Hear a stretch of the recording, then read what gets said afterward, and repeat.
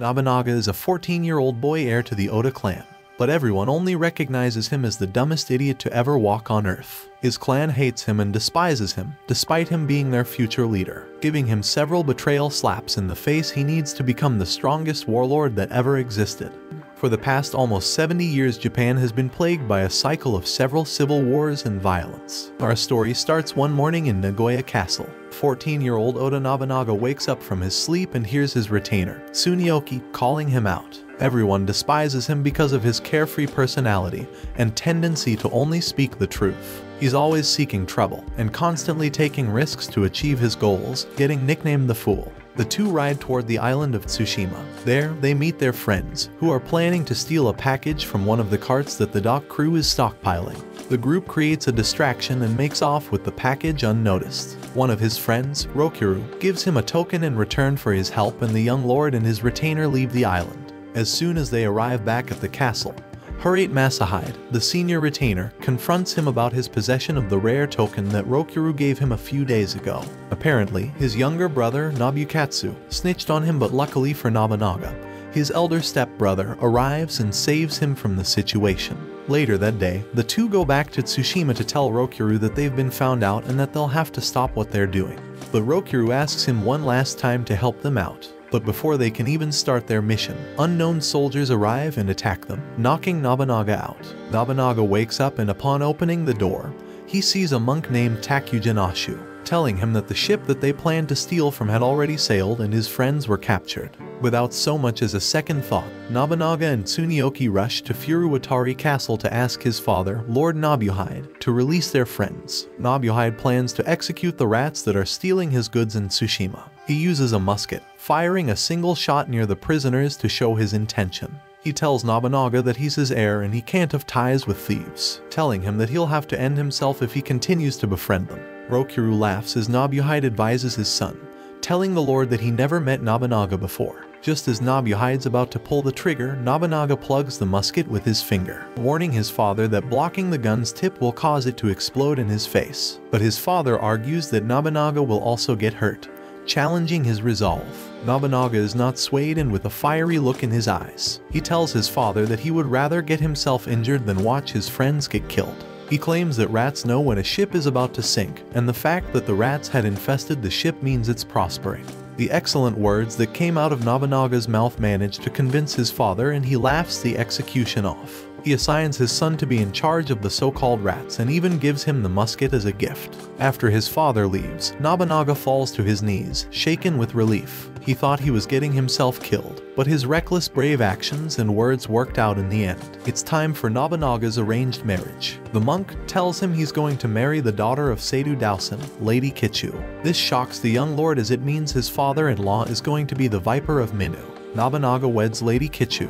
Later that night, Takujin Ashu tells Nobunaga that Kichu is an assassin. The monk reveals that this isn't Kichu's first marriage and that whatever path they choose, it's gonna be hard for the Oda clan. Later, Nobunaga finds Kichu with her attendant and invites her to accompany him on a walk. The newly married couple arrives at the location and bluntly, Nobunaga tells her that his death will likely cause more trouble for the Mino clan than good. Hearing this, Kichu points her dagger at her own throat, but Nobunaga disarms her, telling her that she shouldn't kill herself just because she failed to kill him. He adds that she should value her life more than what her father thinks of her. Before the night is over, Nobunaga takes her in as his official wife, securing an alliance that will benefit both clans. Tsuneoki confronts Nobunaga and asks him to visit his sick father, but Nobunaga argues that his visit might cause his father to lose all will to fight his illness. A couple of months later, Nobunaga's father succumbs to his sickness and dies. Nobunaga doesn't attend the funeral. For the past years, he's been realizing his position. He's now the leader of the clan, and tries to think about how he can take care of his people. But his family doesn't know about his thoughts, resulting in a bigger hate toward him. Even by this brother, Nobunaga gets an invitation to meet with Saito Dosan, Kichu's father in a secure location.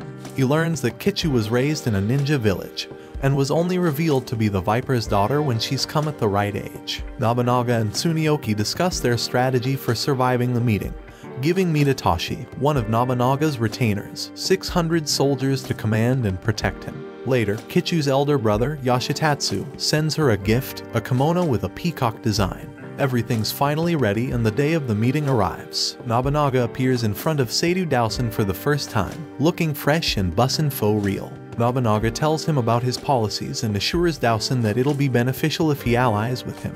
He then summons his wife Kichu, dressed in the peacock-designed kimono. Yoshitatsu rises and scolds Kichu, telling her that peacocks symbolize disrespect as they are the natural enemy of vipers. And in doing so, she basically presented herself as the enemy of her father, the viper. Nobunaga counters Yoshitatsu's argument by telling Dosan that the peacock is bowing to him, meaning that even his enemies pay respect to the viper. The Viper is impressed and didn't expect Nobunaga to handle the situation that effectively. Kichu notices an assassin nearby and quickly shields her husband from the assassin's sight by pretending to dance. The assassin sets the arrow loose but misses Nobunaga. Yoshitatsu orders his soldiers to engage, descending on Nobunaga, but Tashi's company of musketeers arrives on time, checkmating the Viper's forces. The conflict ends with Nobunaga forgiving the Viper, and the two form an alliance, swearing to protect each other's backs. Nobunaga sends letters to his brother, longing for a reply and to see him. He gets a letter back, asking him if he wants anything for his upcoming birthday.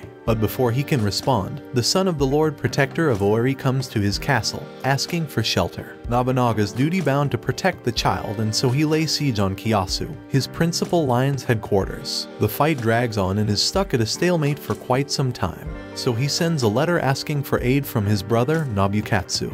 However, the fight drags on and they haven't received a word from Nobukatsu. He's about to retreat, however, his brother arrives and provides the support that Nobunaga desperately needs. With their troops reinforced, they defeat the traitors and take Kiyosu Castle as their new headquarters. A few weeks after the battle, Nobunaga receives word that Hidetaka, his younger brother was accidentally killed on the hunting grounds. Nobukatsu rallies his soldiers to swear revenge, asking for Nobunaga's assistance. But help didn't come. Nobunaga is too focused on his job as the clan leader, and has no time to deal with decisions based on emotions. A few weeks later, a village head arrives at Kiyosu and asks for Nobunaga's help. Nobukatsu got tired of Nobunaga's decisions and decided to raise arms around their village. The villagers are afraid that they'll get invaded, or worse, pillaged and wiped of the living land. Nobukatsu's forces start raiding the village, taking in their crop harvests and food supplies. Nobunaga appears and orders Nobukatsu's forces to retreat, but the soldiers instead charge forward to kill him. With only 700 soldiers, Nobunaga has to fend off Nobukatsu's army of 18-0. Tsuneoki leads the charge of Nobunaga's troops, inspiring them to attack head-on. Meanwhile, Nobunaga faces off with Michitomo, one of Nobukatsu's retainers. He tells Nobunaga that they aren't going to leave Owari's defense to someone like him. And so Nobunaga casts aside his emotions and clashes swords with the retainer, killing him in their second joust. With the death of Michitomo, the enemy troops scatter like flies and flee the battlefield. Nobukatsu sees his brother and charges forward raising his blade in one hand. Nobunaga shouts and asks why are they acting like enemies, but his brother doesn't stop his advance. But before Nobukatsu can get close, Tashi hurls spears in his direction and startles the horse enough to throw the estranged lord off of it, allowing Nobunaga to arrest him. Their mother begs Nobunaga to be lenient with his sentence, but Nobunaga has already considered his brother's decisions and decides to take take the best action for the clan. And so, he proceeds to forgive him for all his crimes. Later, Nobunaga asks Kichu how she's feeling, she confesses that her being with him doesn't feel right and argues that Kitsuno is far suited to be his bride, leaving the castle in the dead of the night. A few days later, Kitsuno, the lady Nobunaga is smitten with, arrives at the castle, revealing that Kichu asked her to be Nobunaga's concubine. Kichu is infertile, which poses a problem to the future of the clan as heirs are needed. Not even a week has passed since Kitsuno's arrival when Tsuneoki suddenly gets captured. Nobunaga rallies his forces to rescue Tsuneoki and along the way, they meet Shibata Katsuie, one of Nobukatsu's retainers, telling them that they've been waiting for him.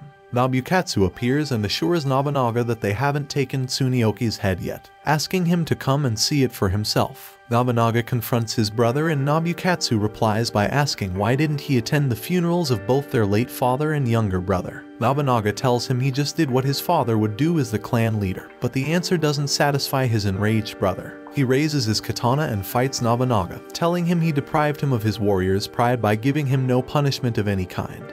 But Nobunaga tells him that he shouldn't die for committing a mistake. The two clash swords as Nobukatsu berates his brother for reducing him to a shameful life as a traitor. Nobukatsu then incites Nobunaga's anger by telling him Tsuneoki's dead. This enrages Nobunaga, so he unsheathes his tanto and stabs Nobukatsu. Then Tsuneoki and Shibata arrive. Nobukatsu asks Nobunaga to blame him for everything and then he dies. Shibata then tells Nobunaga what happened and why Nobukatsu chose to meet his end instead of living peacefully. A year later and Kitsuno gave birth to Nobunaga's first son, Nobutada. One afternoon, a traveling monk visits the castle and offers Nobunaga his exotic wares. One of the wares is an incense-producing item that relieves stress. Nobunaga inhales the smoke and falls unconscious. As the monk's about to strike, Tashi catches him in the act and wrestles him. In a struggle to find out what the monk's intentions, he accidentally kills the monk.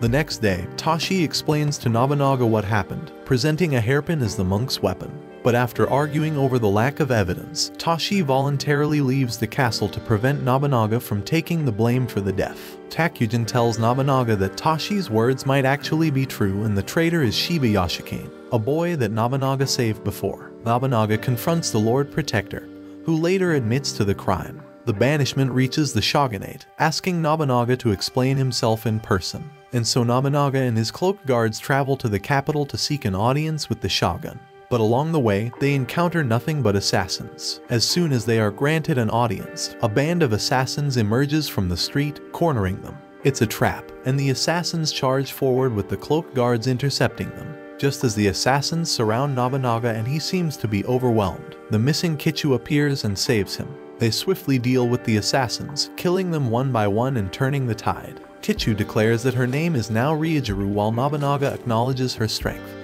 and invites her to be part of his guards. The group leaves the capital and heads back home. All of the plots that have been happening since they left for the capital were traced back to Imagawa Yoshimoto, a general that has been planning to attack Owari for a long time. A few days before the invasion, Ryujuru informs Nobunaga that she spotted 10,000 soldiers in Mikawa. Nobunaga and his forces rally at Zenshoji Temple, putting up banners to bluff his enemies that he has a bigger force. However, Ryujuru reports that there are now 40,000 men that Imagawa has at his disposal.